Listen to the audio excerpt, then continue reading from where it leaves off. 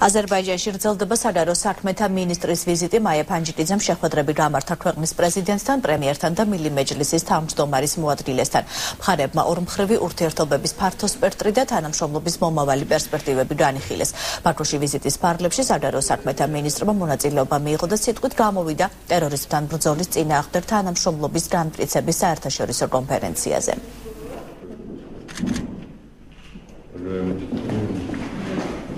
ამ შეხვედრებზე იყო საუბარი საქართველოსა და აზერბაიჯანის შორის არსებულ ორმხრივ ურთიერთობებზე და აგრეთვე მრავალმხრივ ფორმატში ურთიერთთანამშრომლობაზე.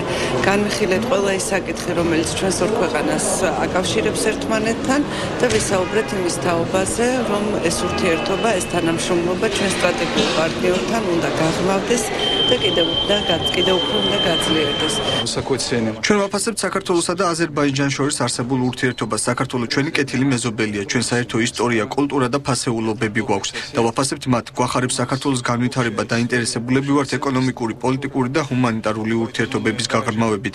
მადლობა ღმერთს, რომ ჩვენ ამას ვახერხებთ და კვლავაც გავაგრძელებთ. აღსანიშნავია, რომ კარგი ურთიერთობები გვაქვს საერთაშორისო ორგანიზაციებშიც, სადაც სხვადასხვა საკითხებში ერთიანი პოზიციებით გამოვდივართ.